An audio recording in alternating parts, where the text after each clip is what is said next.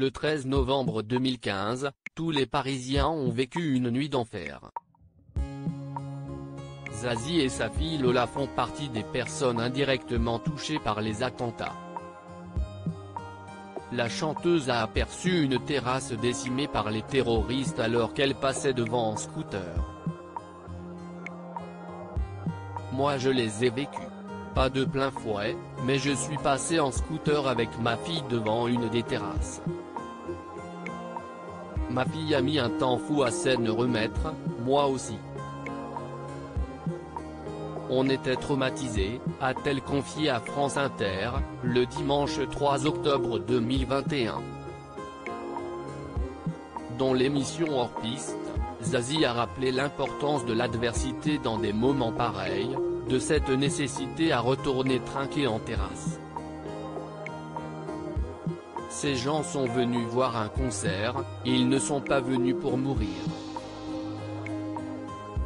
Donc ça me semblait important d'être là pour les raisons pour lesquelles les gens étaient venus. Si est-il leur dire qu'on continuera?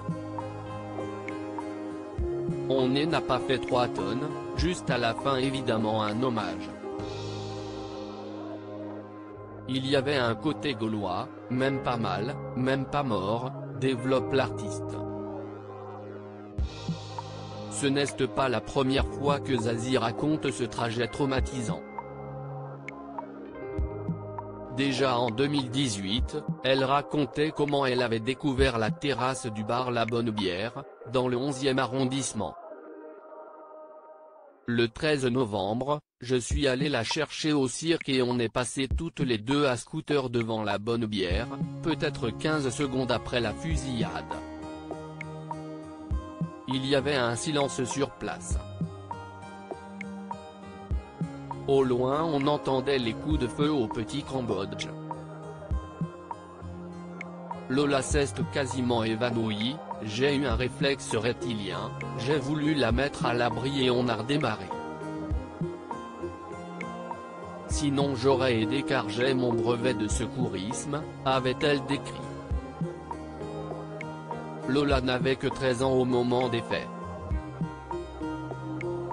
On est chacune allée voir un psy. Il faut apprendre à vivre avec ça, précisait Zazie. Cette expérience lui a inspiré le titre Waterloo pour réparer les vivants parce que les morts s'y est trop tard, comme lui avait soufflé sa fille.